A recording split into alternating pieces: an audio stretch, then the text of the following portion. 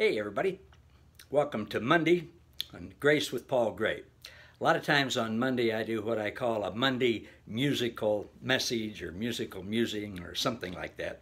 And I've talked about different people whom I've known in my life, musicians who've made a great impact on my life.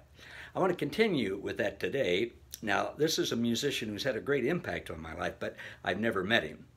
I've watched him live different times, listen to his CDs all the time. And I'm talking about Bart Millard. Bart is the leader of the band MercyMe. It's my favorite band. I know I'm a, a jazz musician, but this is still my favorite band.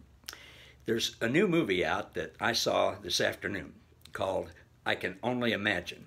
One of my favorite actors is in it, Dennis Quaid. Cloris Leachman's in it. I highly recommend the movie I Can Only Imagine it's it's amazing. It's about grace. It's about forgiveness. It's about God working all things out for the good, and it's just wonderful. So there's my plug for that song. But I want to talk about a different song that MercyMe does. This one's on their album Welcome to the New, and I don't know this for sure because I've never talked to them. I haven't read this about them, but it certainly appears from the lyrics, especially in their album Welcome to the New that Bart Millard and the guys in their band really understand grace, Jesus' finished work at the cross, and acceptance of everybody. Listen to these words from their song Wishful Thinking. Lord, is it possible to get this far and just now understand who you are? He'd been a Christian for a long time, had a Christian band for a long time. And he's saying, Is it possible to get this far and just now understand who you are? And that's happened to a lot of us, hadn't it? He said, I'm feeling foolish, yet relieved as well, because what I bought before, I just can't sell. Well, that's where I was.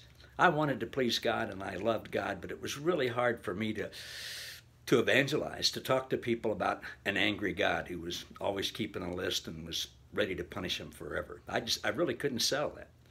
But now he says, My eyes are wide open. And Jesus is the light of the world that brings light and illumination to everyone. He said, If this is wrong, I don't want to be right. I don't want to believe that God is not good and angry. He says, Could it be that on my worst day, God, how you love me still will not change? Think about that. Could it be that on our worst day, how God loves us still will not change? He said, What if it's really not about what I do, but what you did? And we've come to learn that, haven't we? And then he says, This ain't wishful thinking. It's just how it is, seeing what is. 2 Corinthians 4.18. This ain't wishful thinking, it's just how it is. He said, Well, I guess I'm better late than not at all. Or, God, did you plan it this way all along? Because without suffering, he says, grace is hard to see. And that's true. You know, when we're comfortable, when we're going along, when things are pretty well, we're Christians, we're involved in church and stuff like that, it's hard to believe that we need grace because we haven't suffered. There's nothing that we have needed grace for. We haven't doubted, we haven't questioned, we haven't gone through hard times. Without suffering, grace is hard to see. God doesn't bring suffering on us intentionally, but He knows what's going to happen, and certainly He works the things that happen in this life, and suffering is a big part of that, to help us see grace. So He says, So maybe I'm right where I'm supposed to be.